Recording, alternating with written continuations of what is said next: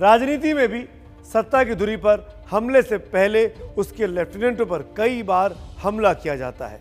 क्या बीजेपी का महाराष्ट्र के गृह मंत्री अनिल देशमुख पर लगातार हमलावर रहना मुख्यमंत्री उद्धव ठाकरे पर हमले का पूर्वाभ्यास है?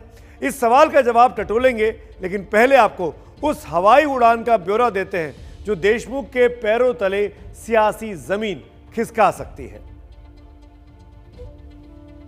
अनिल देशमुख कहते हैं कि वो फरवरी में,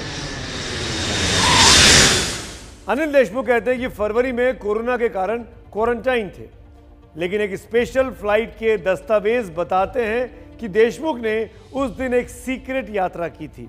वो यात्रा 15 फरवरी को हुई थी, जिस दिन वो अस्पताल से डिस्चार्ज होने का दावा करते हैं। वो उड़ान दोपहर दो बजे की थी। वो डिटेल्स बाहर आ चुके हैं। एक स्पेशल जेट विमान से नागपुर से मुंबई की यात्रा मंत्री श्रीमान अनिल देशमुख ने की थी और उसमें देशमुख समेत आठ यात्री सवार थे। अब देशमुख की उसी उड़ान से बीजेपी महाराष्ट्र सरकार की उड़ान को क्रैश कराना चाहती है।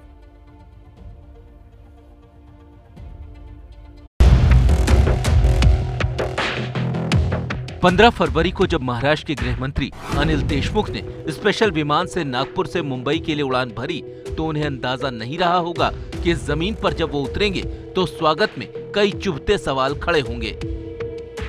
मेरा मानना यह है कि 15 से 27 इस बीच गृह मंत्री जी जो होम क्वारंटाइन थे, वो आइसोलेशन में नहीं थे।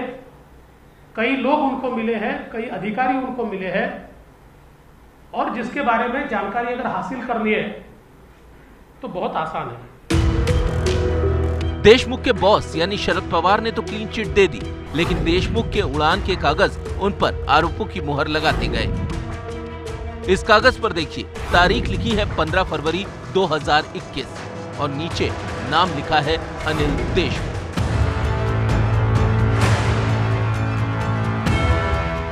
और इस तारीख, समय और नाम का मिलान महाराष्ट्र की राजनीति में तूफ़ान लाने के लिए काफ़ी है।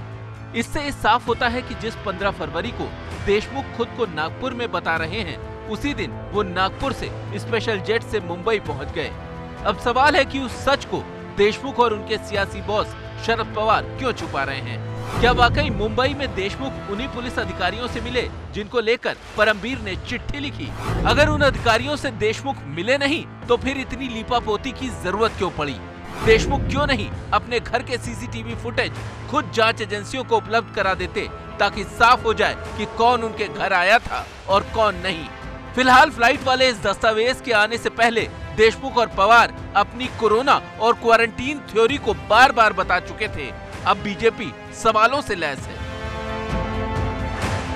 पाँच फरवरी से लेके दो पंद्रह फरवरी तक एडमिट था। पंद्रह फरवरी को मेरा जब डिस्चार्ज हो रहा था तब मैं अस्पताल से घर में जाने के लिए जब अस्पताल के नीचे आया और अस्पताल के गेट के ऊपर काफ़ी पत्रकार वहाँ पे खड़े थे उनको मुझे कुछ सवाल पूछना था मैं कोविड की वजह से मेरे में वीकनेस था उसकी वजह से मैं वहीं कुर्सी पे बैठ के उनके सवालों का जवाब देके गाड़ी में बैठ के होम क्वारंटाइन 27 फरवरी तक हो गया आदरणीय पवार साहब को सही ब्रीफिंग नहीं दी गई थी। एक राष्ट्रीय नेता के मुँह से और जो देश में जाने माने नेता माने जाते हैं, उनके मुँह से कल गलत बातें कहलवाई है और जो प्रोटेक्ट करने का प्रयास ये कल किया गया, मुझे ऐसा लगता है कि वो पूरे तरीके से कंप्लीट एक्सपोज हुआ है। ये सारा विवाद तब उठा था जब मुंबई पुलिस कमिश्नर के पद से हटाए गए परमबीर सिंह ने देशमुख पर 100 करोड़ रुपए महीने की वसूली का आरोप लगाया था और ये भी कहा था कि मध्य फरवरी में कई अधिकारियों से देशमुख ने मुलाकात की थी। देशमुख ने इससे इनकार किया, लेकिन हवाई उड़ान वाला सबूत उनको सियासी तौर पर पैदल भी कर सकता है। राजनीति में भाषा बहुत ज़रूरी होती है और फडणवीस शरद पवार को पवार साहब कह रहे हैं। आप समझ सकते हैं कि खिचड़ी कहाँ पक सकती है आने वाले दिनों में। चाहे सियासत के दांव पेच हो या पुलिस का खेल, मुंबई का मामला उलझता जा रहा है और इस मुद्दे पर जनता भी महाराज सरकार पर आरोपों से काफ़ी ज़्यादा नाराज़ है। शिशिर भालचंद्र जी ट्विटर पर लिखते हैं, अब की बार वसूली सरकार। वही रमन कायरा का कहना है कि Uddhav Thackeray, Anil Deshmukh, Mumbai police commissioner, Waze and company को देखकर लगता है कि हम गुलाम ही ठीक थे। आज़ादी के बाद भ्रष्ट नेताओं और भ्रष्ट अफसरों ने देश को लूट लिया है। और अब लाख टके का एक सवाल कि जिस देशमुख पर इतने संगीन आरोप लगे हैं, जिनके बचाव के दावों की पोल प्यास की परतों की तरह खुलती जा रही है, उनको बचाने में अपना सब कुछ दांव पर क्यों लगा रहे हैं शरद पवार?